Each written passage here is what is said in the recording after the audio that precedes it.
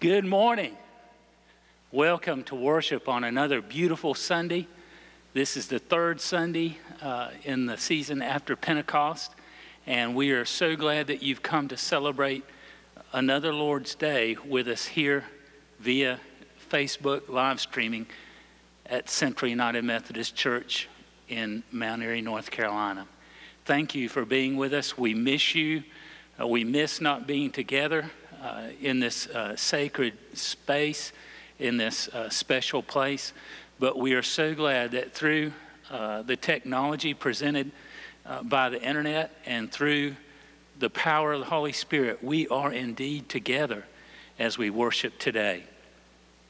I want to thank everyone who participated again in last week's uh, Salvation Army food drive and also uh, in our Pick Up and Pray event that we had as well. Uh, thanks uh, to everyone who coordinated that, everyone who responded. The response was great. And uh, I invite you again to come by and spend some time at the prayer net, our prayer, prayer line. Uh, some of the, uh, or all of the prayer requests that were made uh, anonymously are pinned up there with clothespins, and they've been written on colorful uh, three by five index cards. And I invite you to come and read through those prayer concerns and to spend a moment here in our churchyard and to pray uh, for those folks and for those concerns and your own concerns as well. And again, if you have any prayer concerns, you are welcome to share with us on Facebook the posts.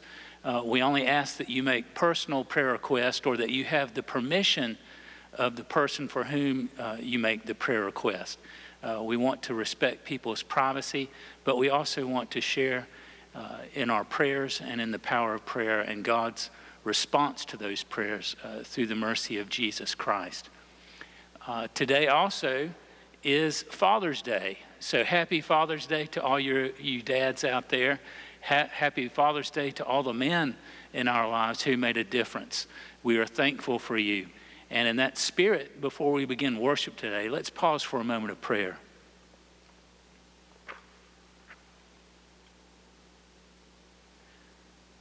For our fathers who have given us life and love, that we may show them respect and love, we pray to the Lord. For fathers who have lost a child through death, that their faith may give them hope and their family and friends support and console them, we pray to the Lord.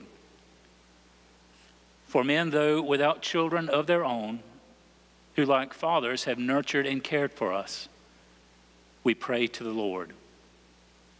For fathers who have been unable to be a source of strength, who have not responded to their children and have not sustained their families, we pray to the Lord. God our Father, in your wisdom and love you made all things. Bless these men that they may be strengthened as Christian fathers. Let the example of their faith and love shine forth. Grant that we, their sons and daughters, may honor them always with a spirit of profound respect. Grant this through Christ our Lord. Amen. Let's worship.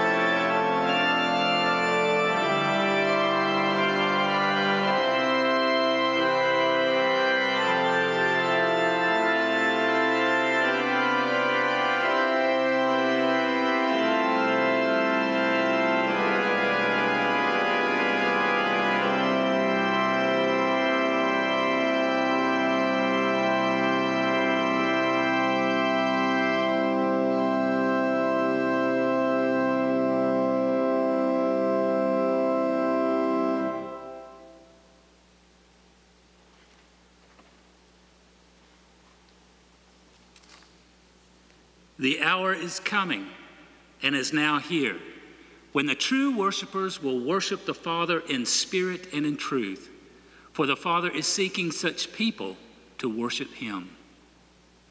Come and see what God has done. His work is honorable and glorious, and his righteousness endures forever. Let us test and examine our ways and return to the Lord. Let us lift up our hearts and hands to God in heaven. Our first hymn this morning is The Head That Once Was Crowned.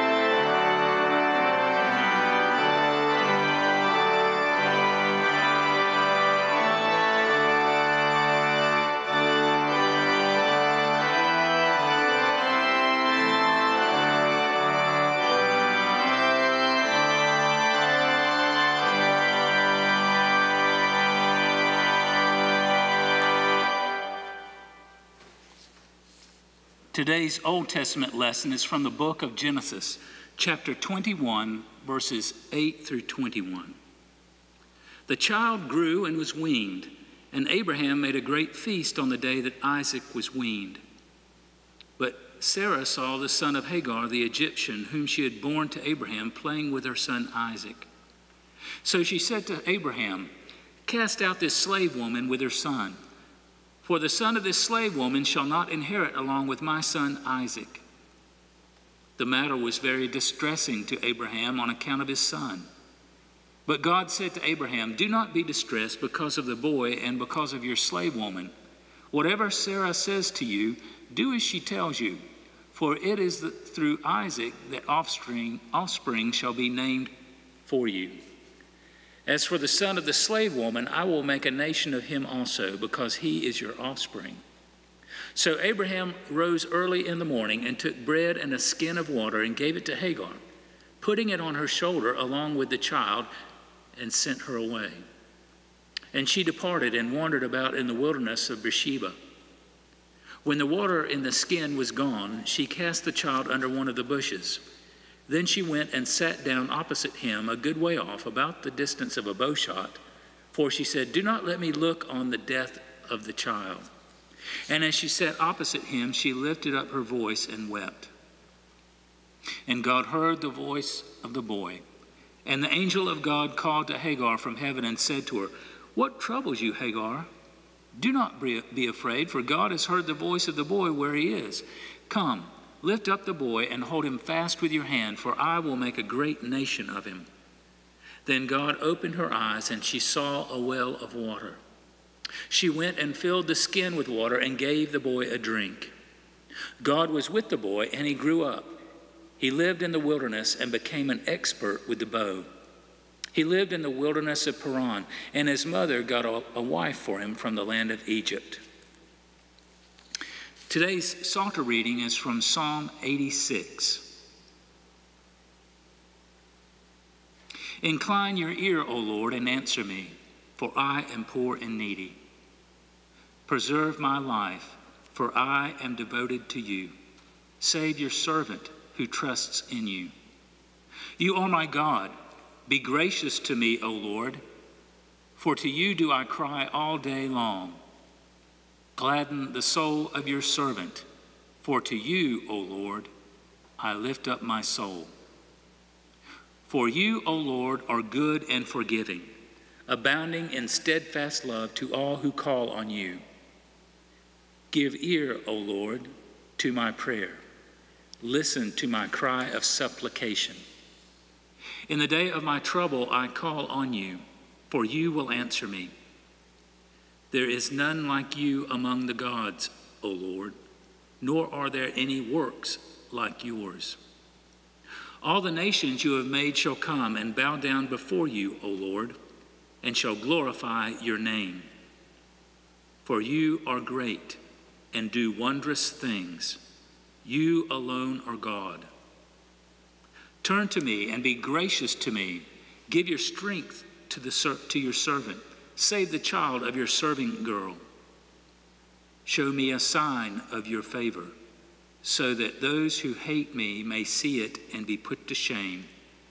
Because you, Lord, have helped me and comforted me.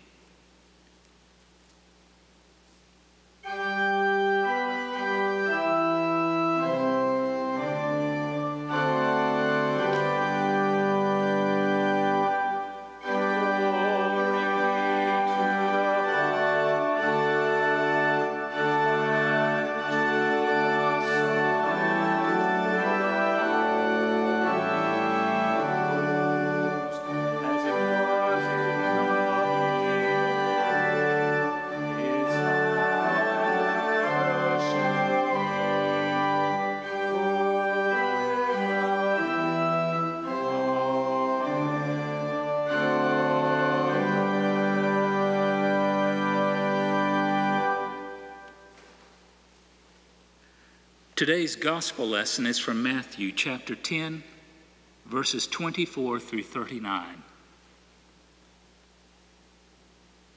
A disciple is not above the teacher, nor a slave above the master.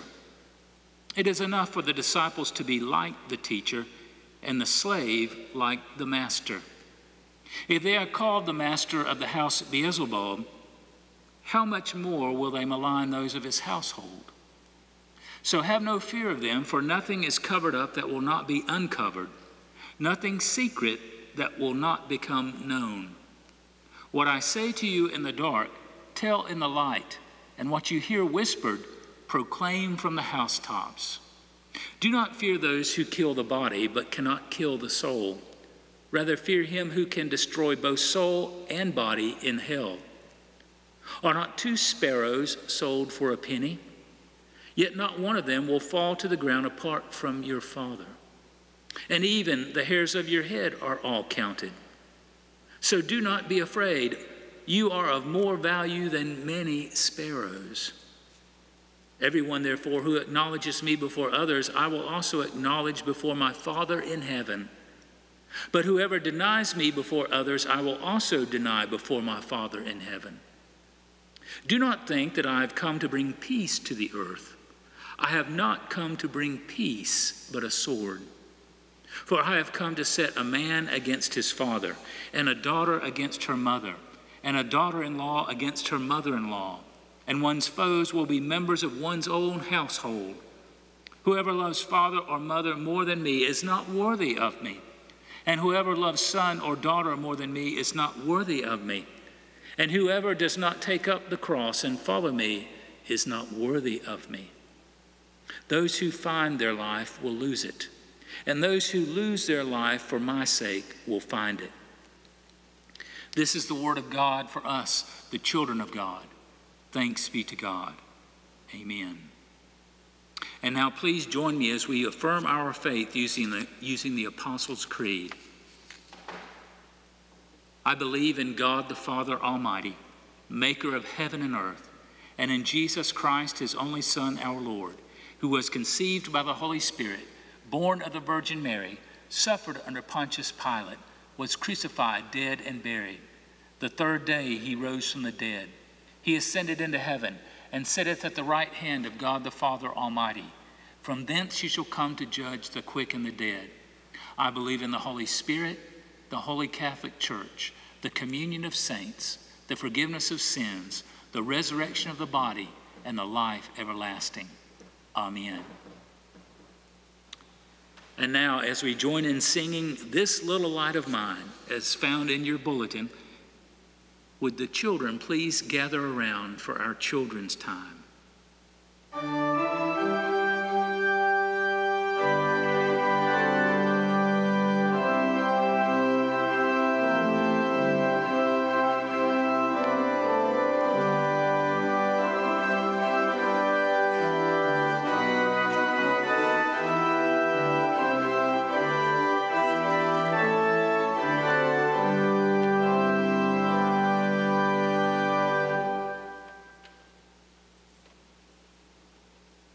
Sure this works. Yay, good morning.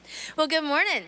Um, hope everyone is doing well and having a great day and happy summer. Yesterday was our first day of summer. we excited about that? Eh, maybe, maybe not. And also, happy Father's Day to all of our fathers and all of our father figures out there. So I hope you all have a wonderful day. Okay, so in the last several weeks, well, sadly, months, we have been doing things to keep ourselves busy. While we've been staying at home and not being able to do a lot of different things that we normally would be doing. Things around the house, we might be working on some gardening and stuff, maybe doing lots of crafts, playing different games, yeah, and maybe reading. How many of y'all been reading? Um, so different things. So I know many of you have been doing some fun activities, and I've seen some of these. So I know a couple of people have been building Legos. Every week, I get to see wonderful creations for some of the kids of all of their Legos that they've been building. It's amazing. And then I've been seeing people put puzzles together. I will say, you are all pros. I mean, it's amazing. So, have you ever lost a piece of your Lego creation that you're making, or maybe lost a puzzle piece? Hmm. It's kind of hard to complete, right? Or if you're missing a Lego piece, it may not look right or it may fall apart. And if you're missing a puzzle piece, it just doesn't look good. So, hmm. you know, and you know I like to share different kind of fun little interesting facts, so I have a few for today. So this first one, the most Lego bricks um, used in, in a creation were, okay, I gotta get this right. 5,805,846. Whew, little teeny tiny Lego bricks. I would not want to step on them. That would hurt. Now, they even drove a car over it. They made a bridge. They built this huge bridge and drove a car over it. How awesome is that? Now, all for all you puzzle people that like to build puzzles and put puzzles together, there's a puzzle out there that you can buy and you can purchase if you have about $450. I don't have that to spend on a puzzle. it includes 40,320 pieces. You better have a lot of free time to put that puzzle together. And the images are amazing whenever it gets done. Hmm. So, thinking about all of those puzzle pieces and all of those Legos, I wouldn't want to be the person that counts all of those puzzle pieces or Lego pieces. I wouldn't want to be the person that says, well, there's about 5,000 there, because I would probably get it wrong. And I wouldn't want to be the one counting them because in, in, I would probably drop one and lose a piece, and the package would be put together, and someone out there would be missing a piece. Hmm. So I wouldn't want to guess these things. Would you like to guess on those things? I would probably get it wrong. Yeah, you might boo. There's also these games that you can play. I don't know if you've ever played these or not, but they're like little guessing games where you have a jar full of like, let's say, M&Ms, and you have to guess how many are in that jar. And then there's also this wonderful guessing game that's been around for years, and it has a wonderful slogan, and it is, how many licks does it take to get to the center of a Tootsie Pop? Can you guess? Hmm.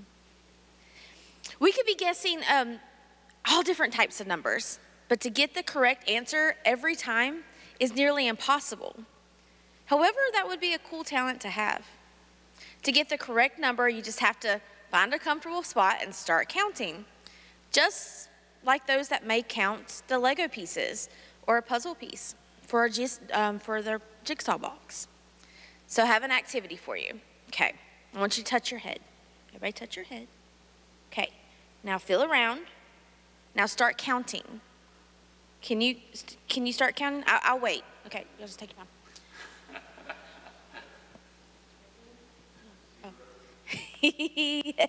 So there will be some people that could be sitting and counting for days. And then there are some that may take a little less time. Hmm.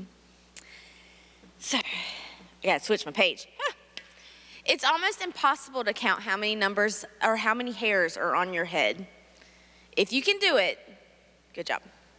But you know who does know how many num- how many hairs are on your head? God. God knows everything about us and even knows how many hairs are on our head. In the book of Matthew, chapter 10, verse 30, Jesus said, and Pastor Danny just read, that even the hairs of our head are numbered. How amazing is that? God knows everything about us and loves and cares for us from head to toe. God knows about the times that we're happy and those times that we're sad, and even when we're in pain or when our hearts need comfort. And the many times that we ask God for guidance. There's no guessing game for God. His number is always right. And no matter if the little piece of our heart seems to go missing or wander off, we are a full picture in the eyes of God, and God continues to love us. So here's what I ask for you is to keep creating wonderful things, having fun because God sees you as a wonderful piece of his creation. Let us pray. Dear most gracious and heavenly Lord, we thank you for this wonderful day. We thank you for our fathers. We thank you for every person that has stepped up in, um, in that role of fatherhood. Lord, we just continue to ask for many blessings upon this church and the people of this community, and we ask that you keep us safe as we go out onto this world. Lord, we um, are eager to enjoy the warm summer days ahead of us. And we know that we're going to have wonderful time together as a family. Maybe we'll go on trips. So please, Lord, keep us safe as we go on our trips. Lord, continue to bless our hearts because in our hearts, we all need a little bit more blessing. Lord, we know that you know every hair on our head, you know every thought and every concern on our hearts. And we just lift those up to you today, Lord. In your name we pray. Amen. Y'all have a wonderful day. Thank you.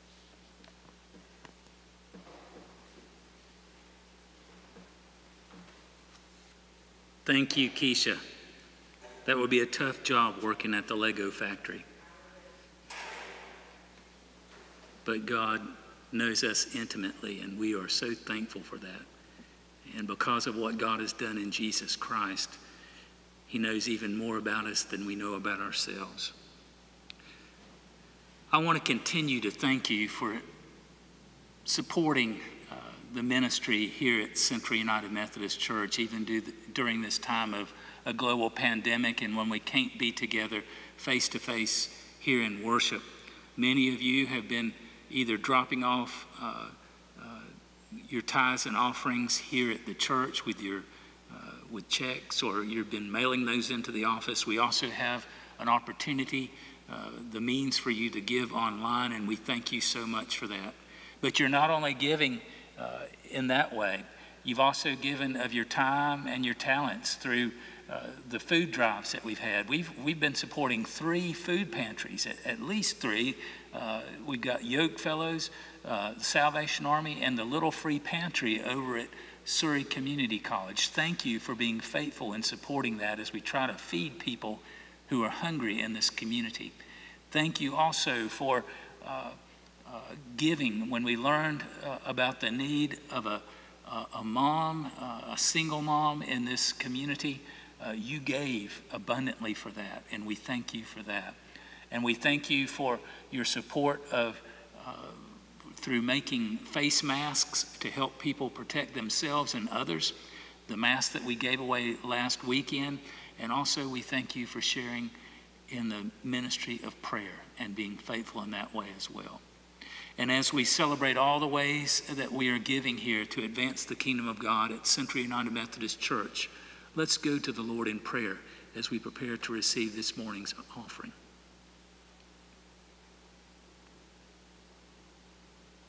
Dear God, you have gladdened our hearts because you are good and forgiving. You abound in steadfast love. You do great and wondrous things. You alone are God. We thank you. We thank you, O God, for hearing our prayers. We thank you for listening to our cries of supplication. When we are in trouble, we call upon you, for you will answer. And when you answer, you answer according to your good and perfect will. Your provision meets our need in ways we cannot anticipate. We thank you for your graciousness, especially the graciousness embodied in Jesus Christ. As a sign of our thanksgiving, we give you your tithes and our offerings. We ask that you receive these gifts accept them, bless them, and multiply them, that they may accomplish your will, glorifying your name and spreading the good news of your kingdom. We pray together as your church in the name of our Savior, your Son, Jesus Christ. Amen.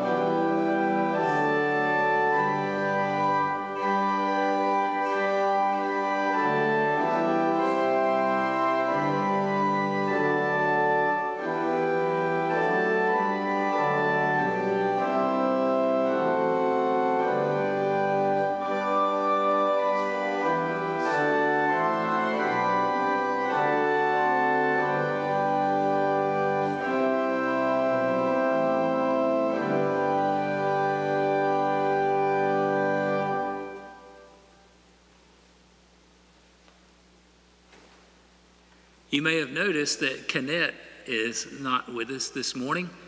Kenneth and John are in Lake Junaluska, North Carolina. Originally, this was the weekend uh, we would be having our closing worship service for our Western North Carolina annual conference of the United Methodist Church. Uh, most of us had already made uh, reservations at hotels and rental properties uh, to spend the week up there.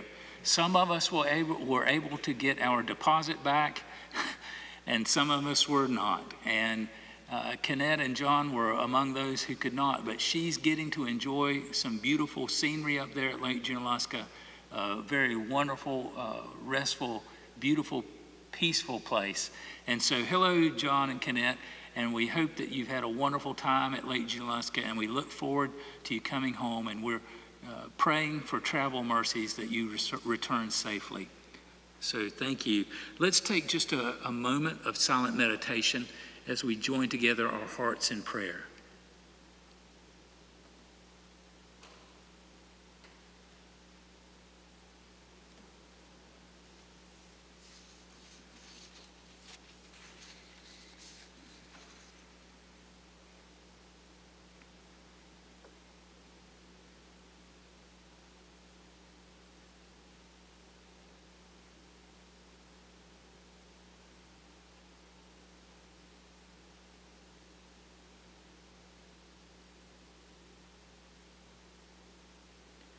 Dear Lord Jesus, you are God incarnate, yet you chose to live as one of us.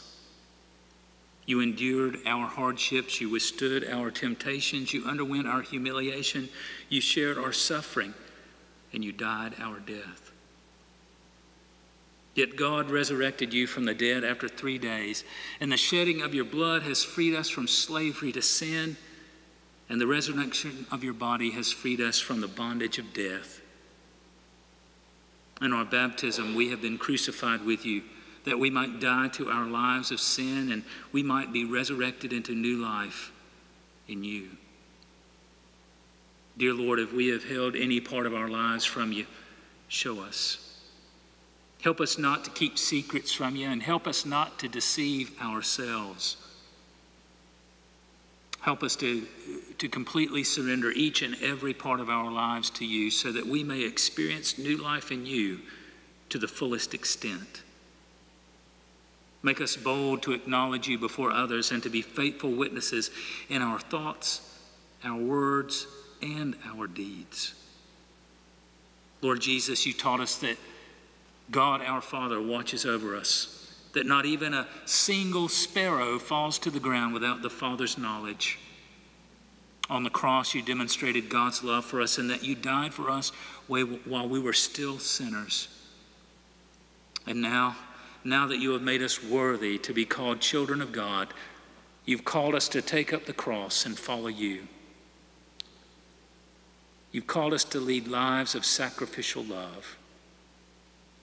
Jesus, in your name, we ask that you turn back the global pandemic that has taken hundreds of thousands of lives and has disrupted millions more. We pray for families that are grieving, for those who are sick, those who are suffering, and for those who are tending to the sick. We pray for scientists developing vaccines, for doctors and nurses developing treatments, and for our leaders who are making decisions regarding public health. We pray for those who are suffering economically. And Jesus, help us to repent of the injustice, the racism, the divisiveness, and all the other evils that this pandemic has uncovered here and around the world. We pray that we will all be healed in body, mind, and spirit. And we pray to you the prayer that Jesus taught his disciples to pray Our Father, who art in heaven, hallowed be thy name. Thy kingdom come, thy will be done, on earth as it is in heaven. Give us this day our daily bread, and forgive us our trespasses, as we forgive those who trespass against us. And lead us not into temptation, but deliver us from evil. For thine is the kingdom, and the power, and the glory forever. Amen. Our next hymn is children of the Heavenly Father.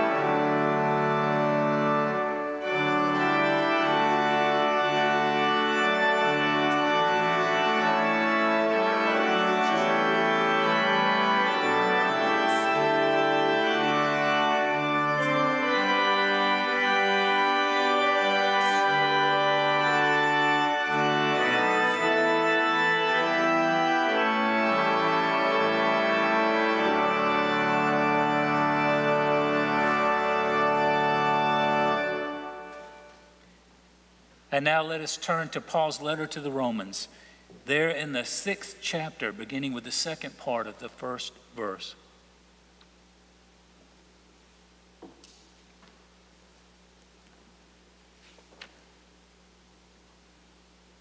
Paul's letter to the Romans, chapter 6. Should we continue in sin in order that grace may abound? By no means. How can we who died to sin go on living in it? Do you not know that all of us who have been baptized into Christ Jesus were baptized into his death? Therefore, we have been buried with him by baptism into death, so that just as Christ was raised from the dead by the glory of the Father, so we too might walk in newness of life. For if we have been united with him in death, like in a death like his, we will certainly be united with him in a resurrection like his. We know that our old self was crucified with him so that the body of sin might be destroyed, and we might no longer be enslaved to sin. For whoever has died is freed from sin. But if we have died with Christ, we believe that we uh, will also live with him. We know that Christ, being raised from the dead, will never die again. Death no longer has dominion over him. The death he died, he died to sin once for all. But the life he lives, he lives to God. So you also must consider yourselves dead to sin and alive to God in Christ Jesus. Brothers and sisters, may God add his rich blessings to the faithful reading, hearing, and doing of this God's holy word. Amen. The Apostle Paul had been teaching that we are saved by God's grace through faith in Jesus Christ and not through obeying the laws that God gave to Moses, which Moses wrote down in the first five books of the Hebrew Bible, which we call the Old Testament. Now, Paul's teachings unintentionally caused quite a stir. When people heard that they could obtain forgiveness for their sins through what Jesus had done on the cross, they could not, and that they could not be saved by obeying God's law, they misunderstood what Paul was saying. They thought that meant they could break God's laws on purpose and keep on breaking them. They figured they could commit any sin they wanted and, and then turn around and ask God to forgive them and then turn around and do it all over again. And that's not what Paul meant at all. Paul had a lot of explaining to do. So that's why Paul began this passage in his letter to the Christians in Roman by asking the question Should we continue in sin in order that grace may abound? Paul states the question in the form of the antithesis to his actual teaching about the gospel of Jesus Christ. The question, you see, sets up Paul to respond to those who misunderstand his teaching, and it allows him to then clarify his teaching. Well, then, should we keep on sinning so that God can show us more and more of his wonderful grace? Of course not, Paul wrote. Paul reminds us of the sign act of baptism. When we are baptized, it is a sign that we are dying to our old way of life, our sins, and rising to a new way of life, to be sanctified, to be made holy in Christ Jesus. Paul says that when we are baptized, we are united with Jesus in his crucifixion. And since the death Jesus died, he died to sin once and for all. So, since we have been baptized for the forgiveness of our sins and to become disciples of Jesus Christ, we must die to our sins. At the same time, when we are baptized and united with Jesus in his crucifixion, we are united with Jesus in his resurrection. You see, baptism is a sign of rebirth. Rebirth. We are born again by God's grace through faith in Jesus Christ forgiven of our sins. We are reoriented, restored, reconciled, refreshed, revived, reborn, resurrected into a brand new life. Praise God. However, it's one thing to be forgiven of our sins, to have a new life, and it is another thing to truly repent of our sins and to live a new life. Jesus' gospel is at the core a gospel of repentance. Repentance. Now, to repent change, it means to change our habits, to change our way of thinking, to change our hearts and our minds, to change the way we live, to reorder our lives. You see, when we accept Jesus as our Lord and Savior, we still have to choose each day between good and evil.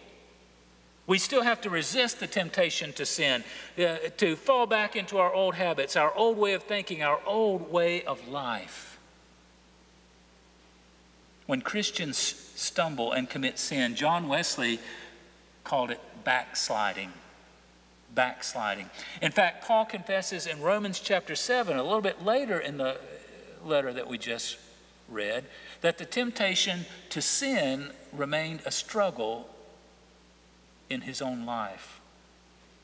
Paul wrote, I have discovered this principle of life that when I want to do what is right, I inevitably do what is wrong. I love God's law with all my heart. But there is another power within me that is at war with my mind. The power makes me a slave to the sin that is still within me. Oh, what a miserable person I am, Paul exclaimed. Who will free me from this life that is dominated by sin and death? Then he says, Thank God. The answer is in Jesus Christ our Lord. So you see how it is, Paul wrote, In my mind, I actually want to obey God's law, but because of my sinful nature, I am a slave to sin. Jesus told his followers that we have to deny ourselves daily which means in part denying our sinful nature, not giving into the things that tempt us to backslide into our old lives, so that we can faithfully follow the way of Jesus. You heard what Jesus said in the gospel reading from Matthew. If you refuse to take up your cross and follow me, you are not worthy of being mine. If you cling to your life, you will lose it. But if you give up your life for me, you will find it. That's a promise from Jesus. New life. Say it with me new life.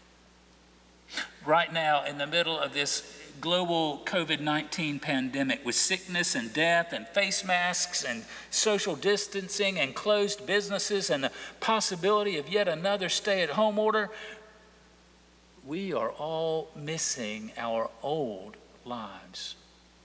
At a time when we face so many challenges on so many fronts, life is far, far from normal. But Paul would ask us to stop and to reconsider what our normal life was like before COVID. You know, this pandemic is already exposing on a daily basis the flaws in our society, not just here, but around the world. Civilization around the world, the, all the injustice, the inequity, the hatred, the violence, the poverty, the racism, the misplaced priorities, all of the things that divide us the Apostle Paul says that when we are baptized, what once was normal in our lives is finished. It's over. There is no going back, he says. As long as we, uh, as, as, as we long to get our old lives back during this global pandemic, as long as we return to go back to what was normal before this global pandemic, you know, I'm beginning to think God may just have a different idea about the future. I thought a lot about illustrating how our lives can be changed, how our lives can change, how what we thought was our normal life can be changed. And well, since today is Father's Day, it dawned on me what a change to normal life it was to become a father, to become a parent.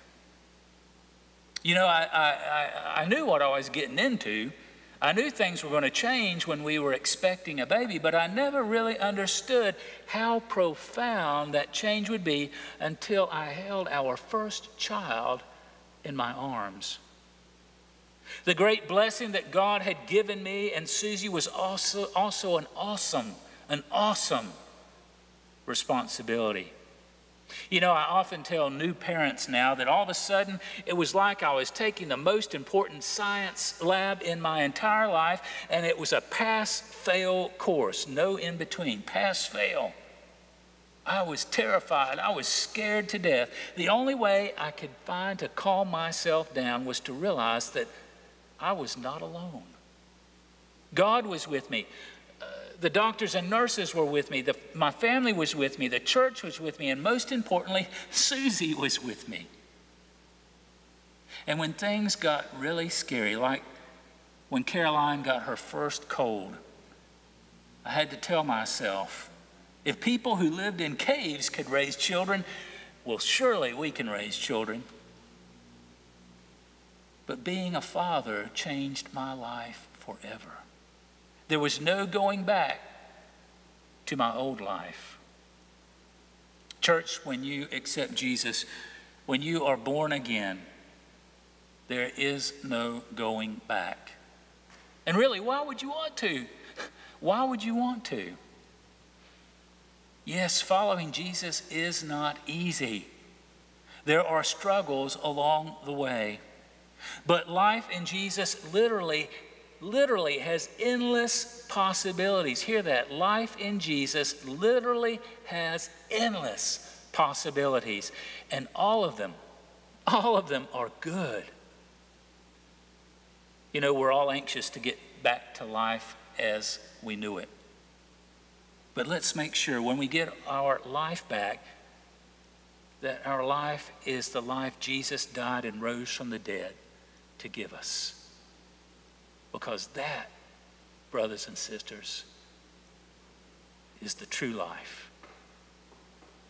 It is the true hope. It is the true way of Jesus Christ. Amen. Our last hymn this morning is Christ the Lord is risen today. Christ the Lord is risen today. Let's sing it together.